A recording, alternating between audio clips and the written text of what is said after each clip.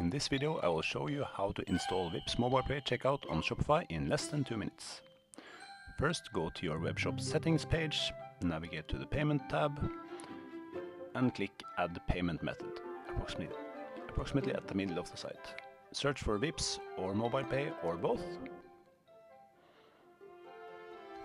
and navigate to Vipps Mobile Pay Checkout. Select this. Then click Activate. Now we need to fill in some credentials in the plugin to make it work. So click Manage. Uh, install.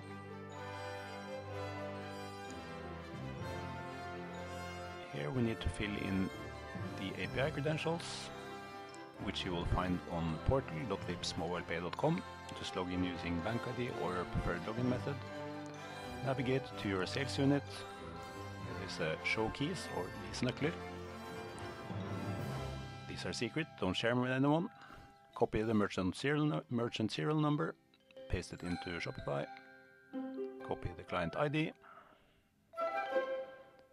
Copy the client secret.